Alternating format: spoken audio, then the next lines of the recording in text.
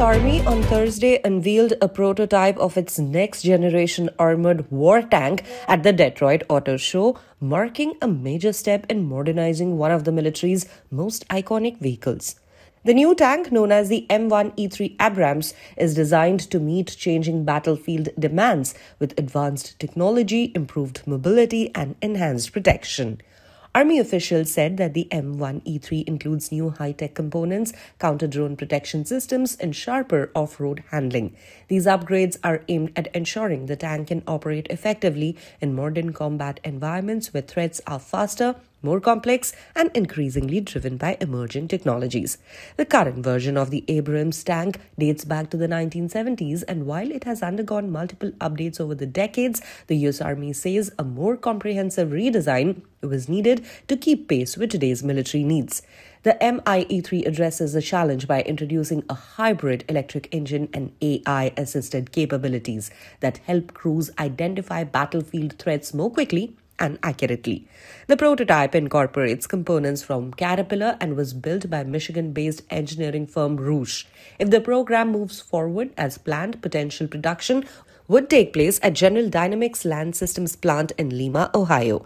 According to the Army, the next steps for the M1E3 will focus on continued development and evaluation as the service works towards bringing the next generation Abrams closer to the operational use.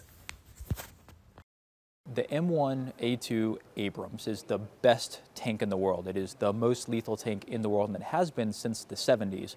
But imagine if the iPhone, after the first iteration, had never added anything else. It just did text messaging and it just did phones and it was the best in the world at doing texting and phone calls, but it never had the App Store. This has the App Store. You have customizable screens in your cars now. You have sensors that provide safety features. You have things that augment the driver.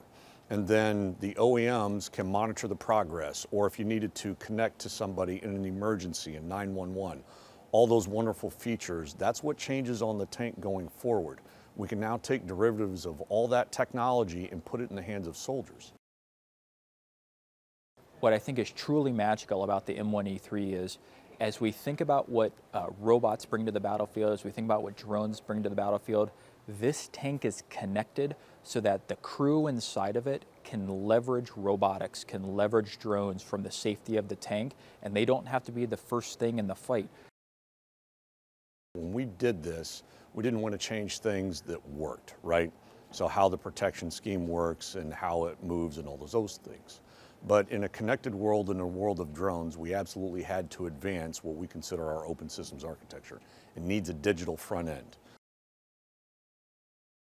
America's next first battle should not be humans first. It should be us trading blood for steel, and it should be our robots going in first. We should be protecting our warfighters um, with technology like the E3 so that as many drones and robots as possible can be controlled from something like this.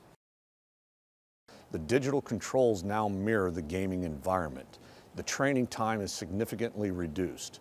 A 13 year old could probably learn how to drive this thing faster than I could, truthfully. And that's exactly what we want. And then provide them all of the artificial tools that come with advanced chips, whether it's NVIDIA or Qualcomm or pick your US chip manufacturer. We bring all that to bear to increase our efficiency, the connectivity, and the lethality and the protection of the platform to make sure that when we deploy soldiers, they can go overseas, execute the mission, and we bring everybody home alive. In the current warfare, mobility is safety. Um, there's a misperception that the tank is supposed to sit idly by and protect you from everything. What we have seen in Ukraine, what we have seen in, in the Middle East is that if you are sitting too long, you will be targeted and, and you will not survive. So being able to have 50% reduction in fuel need for the same mission profile, that's part of safety and survivability. Everyone around the world should walk away going, hey, the United States Army, they, that we do not want to trifle with them. I mean, first of all, it's a tank, so like everybody likes to see tanks. I feel it's like, especially every guy would like to see a tank, and I think it's it's good to see how they're bringing business back into Detroit using uh, American businesses to, you know, outfit the tank.